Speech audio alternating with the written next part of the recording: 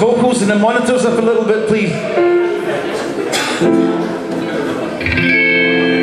This is a song that you probably know. Does everybody know a bit of Lovers Rock? Sandra Cross? It's a song called I Adore You.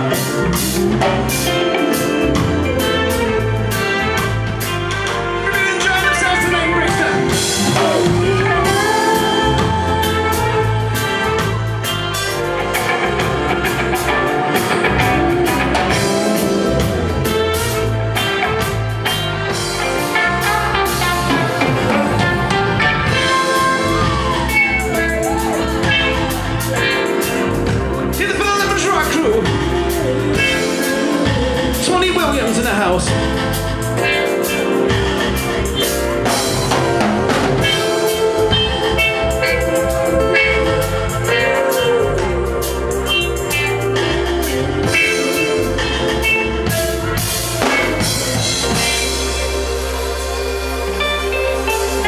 Thank